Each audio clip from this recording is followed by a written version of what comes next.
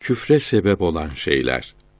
Küfr, Allah'a düşman olmak üç nevdir. Küfrü inadi, küfrü cehli, küfrü hükmü.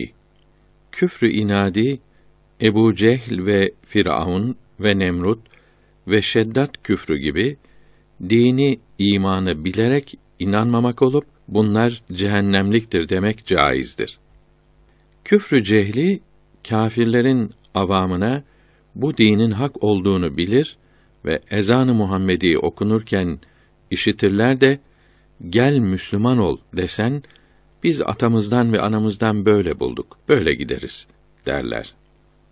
Küfrü hükmü tazim olunacak yerde tahkir ve tahkir olunacak yerde tazim etmektir. Allahü Azimüşşan'ın evliyasını ve enbiyasını ve ülemasını, bunların sözlerini ve fıkıh kitaplarını ve fetvaları tazim edecekken tahkir ederse o dahi küfürdür. Kâfirlerin dini ayinlerini beğenmek ve zaruret yokken zünler kuşanmak ve papazlara mahsus olan başlık, salip, birbirine dik çakılmış iki çubuk, haç gibi küfr alametlerini kullanmak ve bunlara muhabbet küfrüdür. Küfrün yedi zararı vardır. Dini ve nikahı giderir. O kimsenin boğazladığı yenmez. Helali ile ettiği zina olur. O kimseyi öldürmek vacip olur. Cennet ondan uzaklaşır. Cehennem ona yakındır. O halinde ölürse namazı kılınmaz.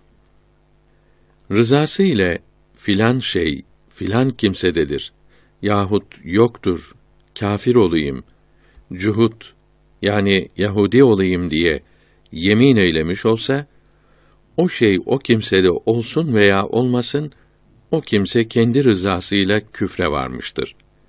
İmanının ve nikahının tecdidi lazımdır. Zina, faiz, yalan gibi her dinde haram olan bir şey için helal olaydı da ben dahi işleseydim diye temenni eder ise bu dahi küfürdür. Peygamberlere aleyhimüsselavatü ve teslimat inandım ama Adem aleyhisselam peygamber midir bilmiyorum dese kafir olur. Hazreti Muhammed aleyhisselamın ahir zaman peygamberi olduğunu bilmeyen kafir olur. Bir kimse peygamberlerin aleyhimüsselavatü ve teslimat dediği doğru ise biz kurtulduk demiş olsa kafir olur demişlerdir.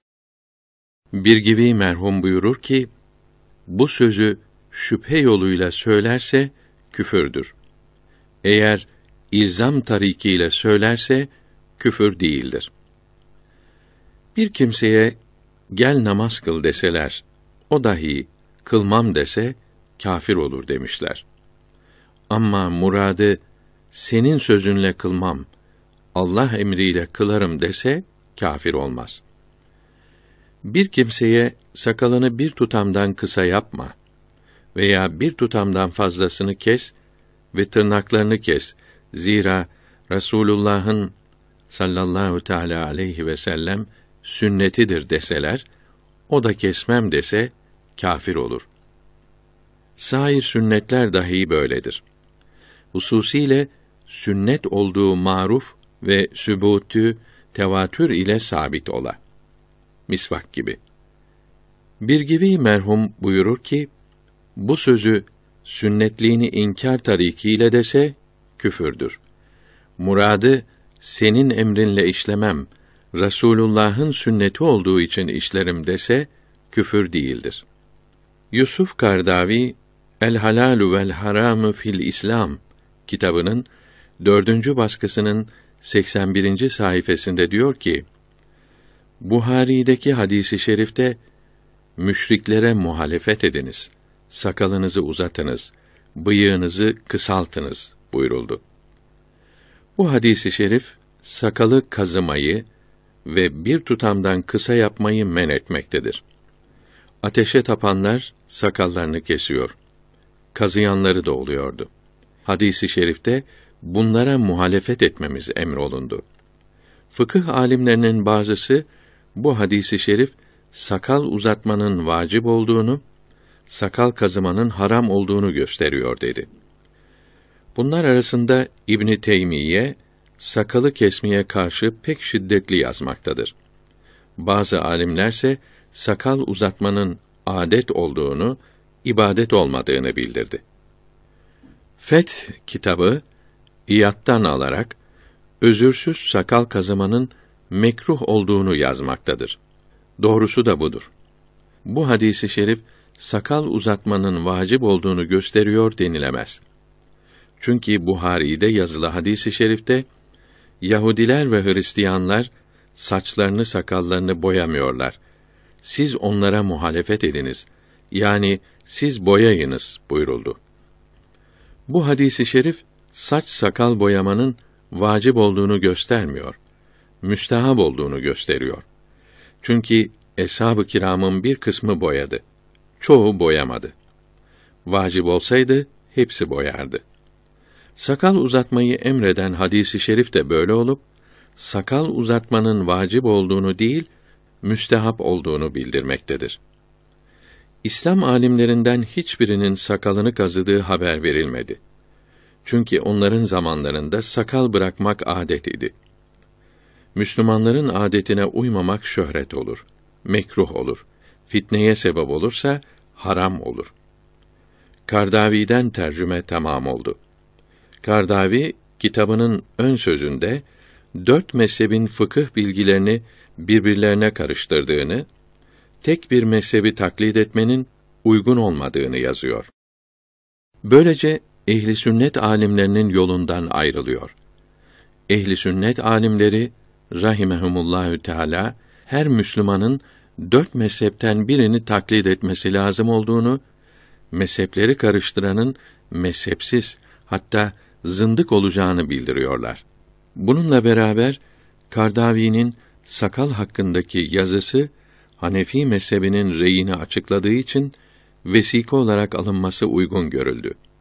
Abdülhak Dehlevi Hazretleri Eşiatül Lemaat'ın üçüncü cildinde diyor ki, İslam alimleri saç sakal boyamakta bulundukları yerin adetine uymuşlardır. Çünkü caiz olan, mübah olan işlerde bulunduğu yerin adetine uymamak şöhrete sebep olur. Bu ise mekruhtur. Muhammed Hadimi rahimehullahü teala Berika kitabında diyor ki hadisi şerifte bıyığı kısa, sakalı uzun yapınız buyuruldu. Bunun için sakalı kazımak, kesmek ve sünnet miktarından kısa yapmak men olundu. Sakalı bir kabza, bir tutam uzatmak sünnettir. Sakalı bir kabzadan kısa yapmak caiz değildir. Bir kabzadan fazlasını kesmek de sünnettir. Bir kabza dudak kenarından dört parmak eni kadar uzun olmak demektir. Sünnet olan hatta mübah olan şeyi sultan emredince bunu yapmak vacip olur. Sultanın ve bütün Müslümanların yapması emir demektir. Böyle yerlerde sakalı bir tutam uzatmak vacip olur. Bir tutamdan kısa yapmak veya kazımak vacibi terk etmek olur. Tahrimen mekruh olur. Bunun camide imam olması caiz olmaz. Fakat Darül Harp'te bulunan veya zulm görmemek, nafakadan olmamak yahut emri maruf yapabilmek, Müslümanlara ve İslamiyete hizmet edebilmek, dinini, namusunu koruyabilmek için sakalını kazımak caiz, hatta lazım olur. Özürsüz olarak kısaltmak ve kazımak mekruh olur. Bir tutamdan kısa sakal bırakarak böylece sünneti yaptığına inanmak bid'at olur. Sünneti değiştirmek olur. Böyle bid'at işlemek adam öldürmekten daha büyük günah olur. Bir kız ile bir oğlan akil ve bali olsalar ve onları nikah etseler ve onlara imanın sıfatlarını sorduklarında bilmeseler onlar Müslüman değildir. Onlara iman edilecek şeyleri öğretip sonra nikahlarını yeniden kıyarlarsa nikahları sahih olur. 54 farz bölümüne bakınız. Bir kimse bıyıklarını kırktıkta yanındaki bir şeye yaramadı dese o diyenin küfründen korkulur. Zira bıyıkları kısaltmak sünnettir. Sünneti hafif görmüş olur. Bir kimse baştan ayağa harir giyinse, başka birisi bu haline mübarek olsun dese, küfründen korkulur. Bir kimse kıbleye karşı ayağını uzatıp yatmak veya tükürmek veya kıbleye karşı bevletmek gibi bir mekruhu işlese, o kimseye bu yaptıkların mekruhtur, işleme deseler, o Adem ona her günahımız bu kadar olsa dese, küfründen korkulur. Yani mekruhu önemsiz bir şey saydığı için. Ve dahi bir kimsenin hizmetkarı kapıdan içeriye girse, efendisine selam verse, efendisinin yanında bir kimse olsa da sus edepsiz, efendisine selam vermek olur mu? dese, o diyen kimse kafir olur. Ama muradı muaşeret adabını öğretmekse ve selamı kalben vermek gerekti. Demek ise küfür olmaması zahirdir. Bir kimse birinin gıyabında bir şey söylese, yanındaki de gıybet etme dese, buna karşı o kimse de bu bir şey midir dese kafir olur demişler. Bu hareketiyle haramı istihsan ettiği, kötülemediği için. Bir kimse Allahü Teala bana cennet verirse sensiz cennete girmem dese yahut filan ile cennete girmeye emrolunsam girmem yahut Allahü Teala bana cennet verse istemem lakin didarını görmek dilerim dese bu sözler küfürdür demişler. Bir kimse iman artar ve eksilir dese küfürdür demişler.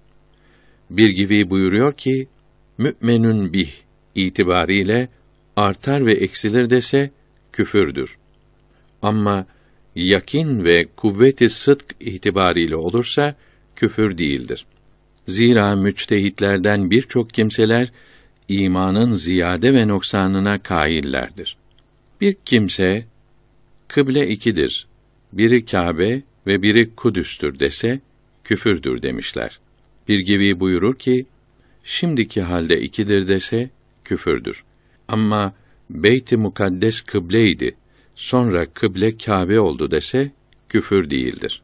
Bir kimse bir alime boz etse veya sövse, bu yaptığı sebepsizse o kimsenin küfründen korkulur. Bir kimse kâfirlerin ibadetleri İslamiyete uymayan işleri güzeldir dese ve böyle itikad etse küfürdür. Bir kimse taam yerken konuşmamak mecusilerin iyi adetlerindendir dese yahut adetli ve lohusa halinde avretle yatmamak mecusilerin iyi şeylerindendir dese o kişi kafir olur demişler. Bir kimse bir kişiye sen mümin misin dese o dahi inşallah dese ve tevile kadir olmasa küfürdür. Bir kimse evladı ölen kimseye Allahü Teala'ya senin oğlun gerek idi dese kafir olur demişler. Bir avret beline bir kara ip bağlasa bu nedir deseler zünnardır dese kafir olur. Erine haram olur. Bir kişi haram taam yedikte Bismillah dese kafir olur demişler. Bir gibi Hazretleri buyurur ki bu fakirin anladığı haram li aynihi olursa hamr gibi, murdar, ölmüş hayvan eti gibi ve o hayvanın yağı gibi kafir olur. Ama haram li aynihi olduğunu bilmek gerektir. Böylece İsmullah'ı hafifletmiş olur. Zira bunların kendileri haramdır. İmamlarımızdan mervidir ki bir kimse taam gasp edip yerken Bismillah dese kafir olmaz. Çünkü taamın kendisi haram değildir. Gasp haramdır. Bir kişi bir gayriye beddua ederek Allahü Teala senin canını küfürle alsın dese kafir olmasında ulema ihtilaf ettiler. Aslı budur ki kendinin küfrüne razı olmak ittifakla küfürdür. Ama gayrın küfrüne rıza bazıları indinde o dahi küfür ise de bazılar indinde istihsanen rıza ise küfürdür. Ama zulm ve fısktan ötürü azabı daim ve şedid olsun diye rıza ise küfür değildir. Bir gibi rahimehullahü teala buyurur ki bu kavli esah anlarız. Zira Kur'an-ı Azim'de Hz. Musa aleyhisselamın kıssasında buna delil vardır. Bir kimse Allahü Teala bilir filan işi işlemedim dese halbuki o işi işlediğini bilse kafir olur.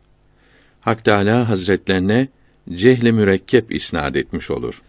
Bir kimse bir avredi şahitsiz nikah etse o er ile avret Allahü Teala ve peygamber şahidimizdir deseler her ikisi kafir olur.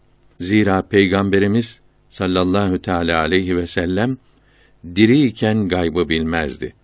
Gaybı bilir demek küfür olur. Ben çalınanları ve kaybolanları bilirim dese söyleyen ve inanan kafir olur. Bana cin haber veriyor dese yine kafir olur.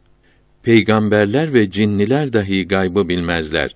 Gaybı ancak Allahü Teala bilir ve onun bildirdikleri bilir.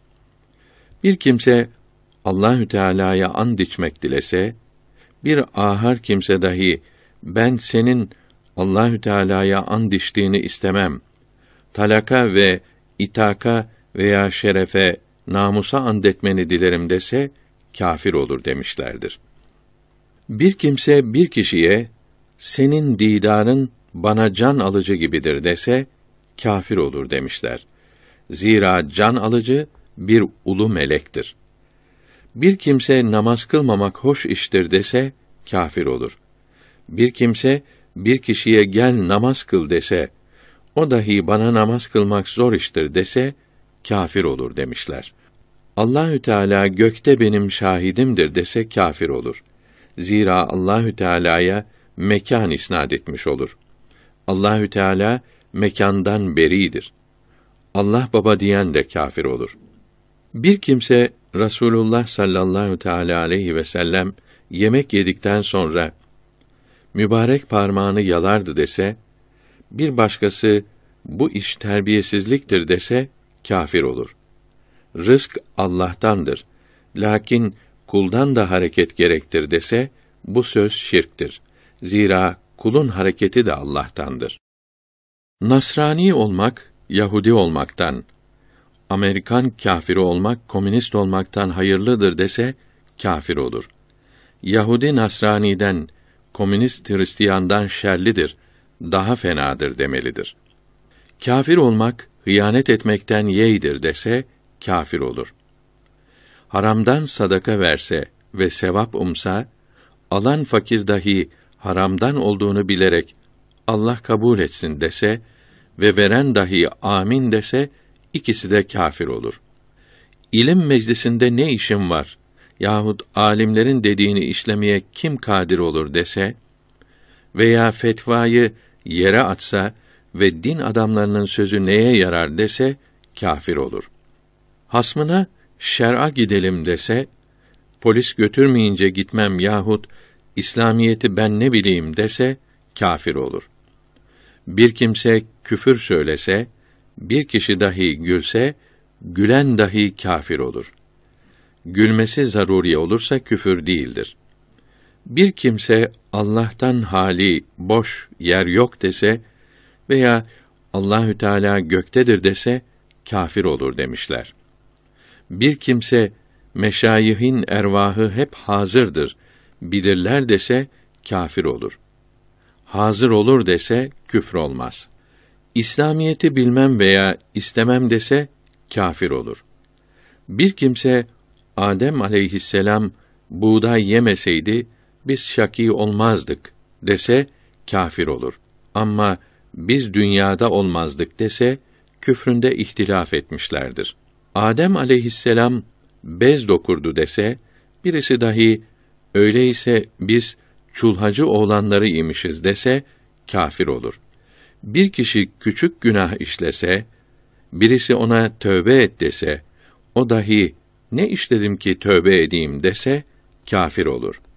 Biri diğerine gel İslam alimine gidelim veya fıkıh ilmihal kitabını okuyup öğrenelim dese, o dahi ben ilmi ne yapayım dese kafir olur.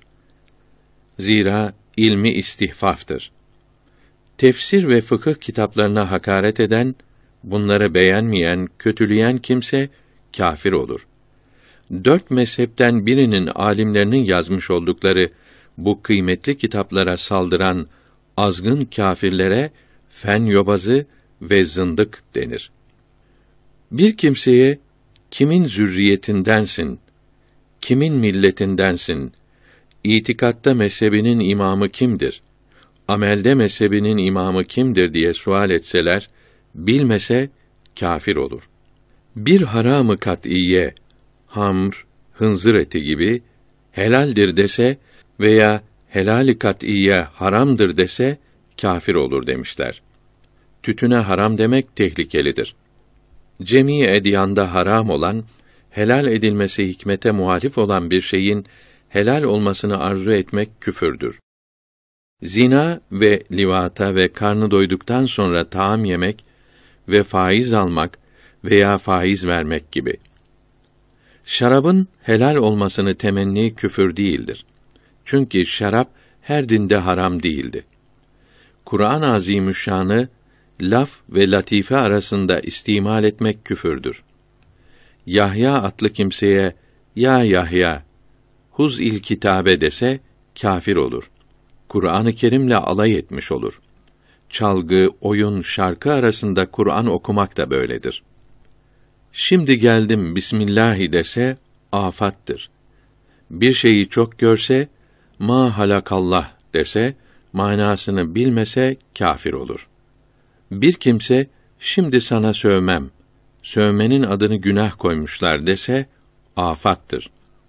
Bir kimse Cebrail buzağısı gibi çırılçıplak olmuşsun dese afattır. Melekle alay etmek olur. Bir kimse Allahü Tebareke ve Teala'dan gayri eşyaya yemin etse haramdır. Haramı işleyen mürtet ve kafir olmaz. Meğer mansusun aleyh olan harama helal dese kafir olur. Ve dahi oğlunun başı için veya başım için kelimelerine yemin billahi atfetse mesela vallahi oğlumun başı için dese küfür olmasından korkulur.